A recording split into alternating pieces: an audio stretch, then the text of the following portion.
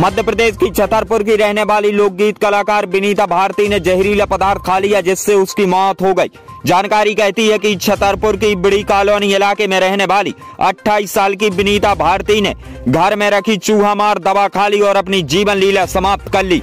जैसे ही उसकी तबीयत बिगड़ी तो उसे जिला अस्पताल पहुँचाया गया, जहाँ पर उसने अपना दम तोड़ दिया। आपको बता दें कि विनीता भारती लोकगीत गायिका है। उसका झगड़ा उसके पति से हुआ था। इसके बाद उसने यह कदम उठाया है।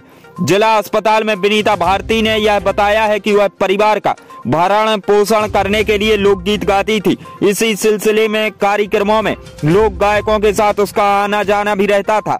विनीता का पति विनोद शादियों में खाना बनाने का काम करता है। बीती रात महिला कार्यक्रम में लोकगीत की प्रस्तुति देने गई थी। सुबह वापस लौटी तो उसका पति से विवाद हो गया और उसी विवाद के बाद महिला ने घर में रखी चूहा मार दवा खा ली जिसके बाद उसकी मौत हो गई। मुरसलीम खान के साथ bureau report Khabar express news Chhatarpur. जी क्या नाम है आपका? सरोजा हरवार। कौन थी आपकी जो वो हमारी बड़ी बहन थी विनीता थी वो? वो बुंदेली लोकगीत गाती थी। क्या घटना हुई है उनके साथ में? उनके साथ उसका पति परेशान करता है हस्बैंड वो प्रोग्राम से आई है उठ पटांग बोलने लगा लड़ने लगा उसने दवा खा ली है। उसकी बहन आई थी जीजा जी की तो बोलने लगी हमारे घर पर आई बोली तुम्हारी बहन ने दवा खा ली है। तो हमने बोला चलो हॉस्पिटल लेके चलते। कह रहे मैं नहीं जाती हॉस्पिटल लेकर।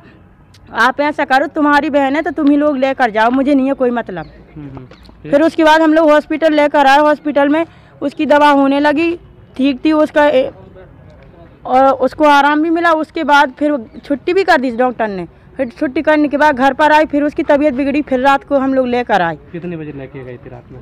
रात को दस ग्यारह बजे की समथिंग। हाँ फिर? बारह बारह बजे हुए थे। फिर?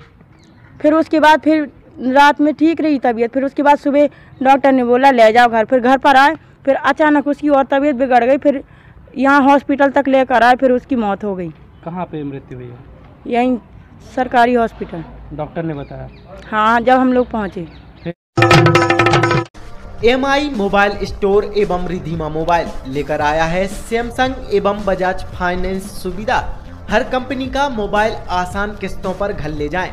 साथ ही दिवाली के मौके पर विशेष ऑफ़र उपलब्ध है। हमारा पता है M I mobile store Shyama Prasad Mukherjee complex, दुकान नंबर 16 रहली, मध्य प्रदेश। अधिक जानकारी के लिए संपर्क करें विवेक गुप्ता, तिरानवे उनतीस